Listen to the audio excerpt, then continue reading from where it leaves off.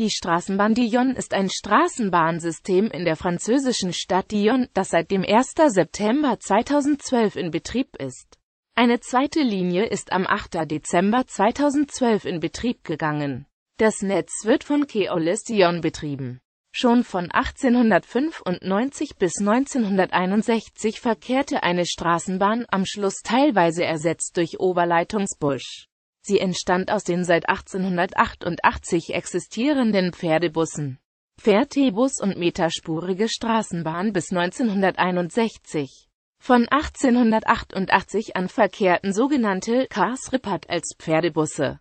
Zu diesem Zweck wurde die Kompanie des Omnibus-Tramways de Dijon gegründet, welche zwei Linien betrieb.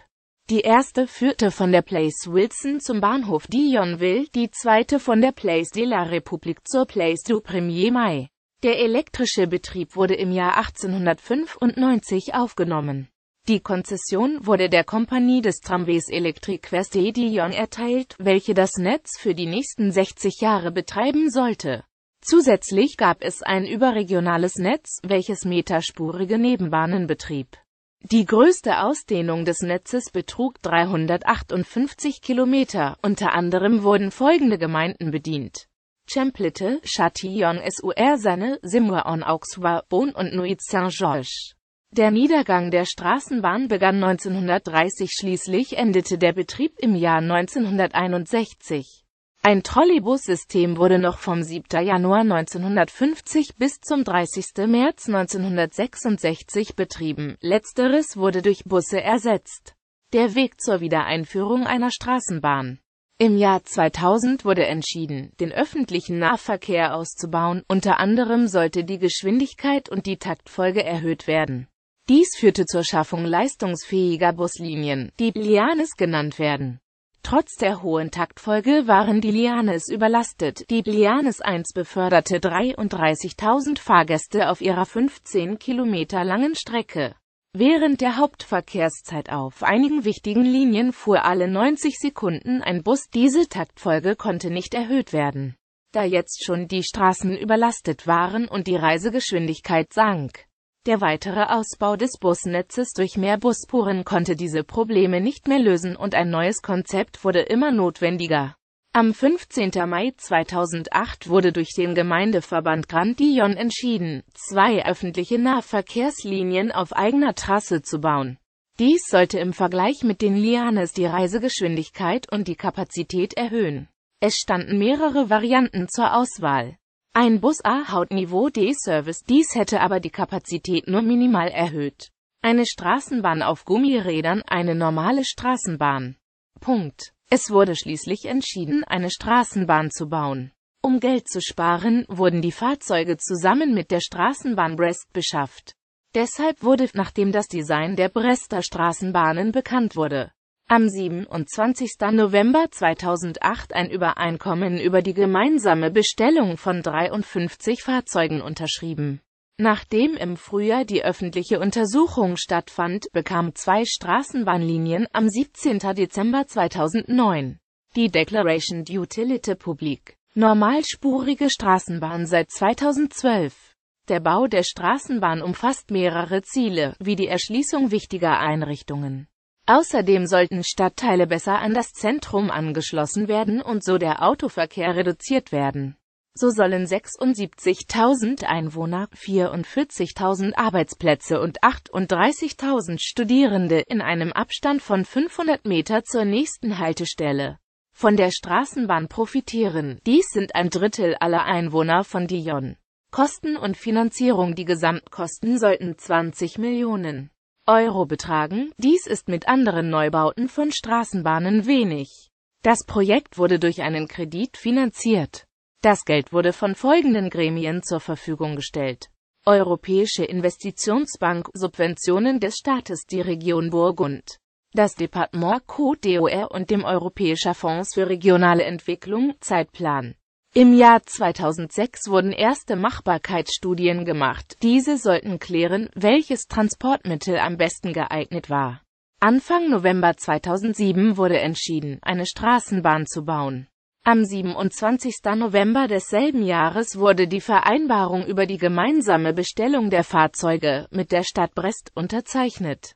Daraufhin wurden im September 2009 33 Alstom Citadis 302 bestellt. Im Oktober 2010 haben die Bauarbeiten begonnen. Die ersten Testfahrten fanden ab Februar 2012 statt. Am 2. September 2012 ging die Linie 1 in Betrieb, die Linie 2 Uhr nachts 8. Dezember desselben Jahres.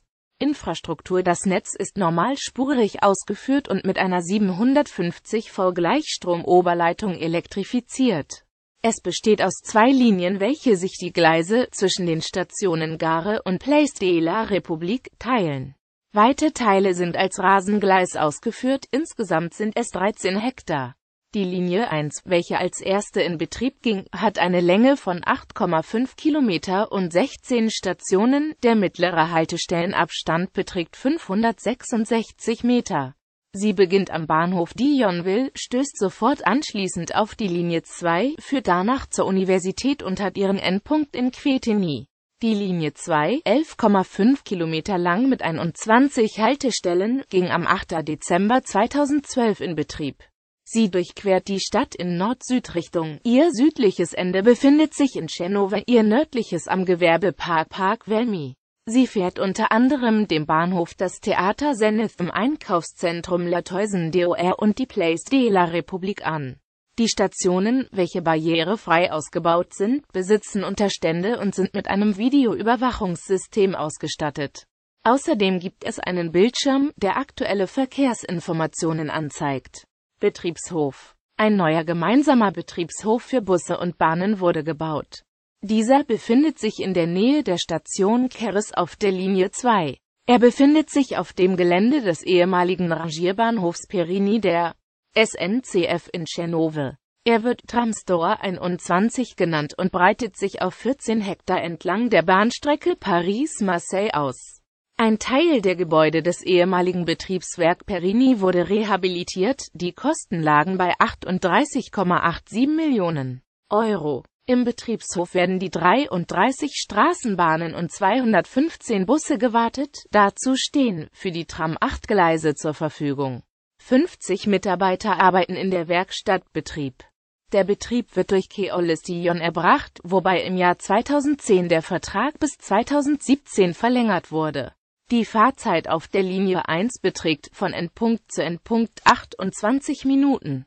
Dies ergibt eine Durchschnittsgeschwindigkeit von 18,2 km pro Stunde.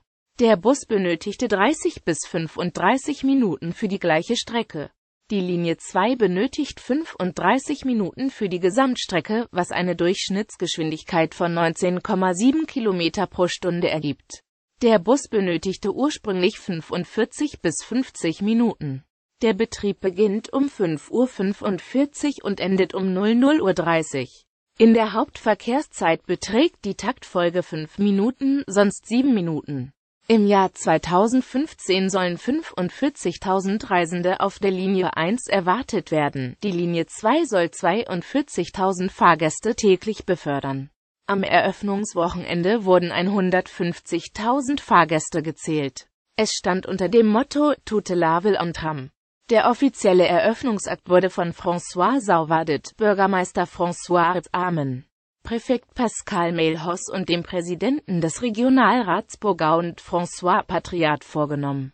Während des ersten Monats haben 35.000 bis 40.000 Personen die Straßenbahn benutzt. Fahrzeuge die Fahrzeuge wurden im Jahr 2009 gemeinsam mit der Straßenbahn Brest bei Alstom bestellt. Von den 53 bestellten Bahnen gingen 33 an die Straßenbahn Dijon. Die Kosten für die Fahrzeuge von Dijon betragen 63,8 Millionen Euro. Daraus folgt, dass ein Alstom City dies 2,05 Millionen Euro kostet. Durch diese gemeinsame Bestellung sollen beide Betriebe insgesamt um 25 Prozent Einsparungen erzielt haben. Die 33 Fahrzeuge des Typs Alstom Cities 302 sind 32,7 Meter lang, 2,4 Meter breit und bestehen aus fünf Wagenkästen, die jeweils auf drei Drehgestellen aufsitzen. Sie sind komplett niederflurig, haben eine Höchstgeschwindigkeit von 70 km pro Stunde und 200 Fahrgäste finden in einem Fahrzeug Platz. Davon sind 42 Sitzplätze, außerdem sind die Straßenbahnen 5 Dezibel leiser als der Straßenverkehr und können zu 98 Prozent recycelt werden. Sie wurden in unterschiedlichen Alstom-Werke gefertigt, sie sollen auch 10 Prozent weniger Energie als vergleichbare Fahrzeuge verbrauchen.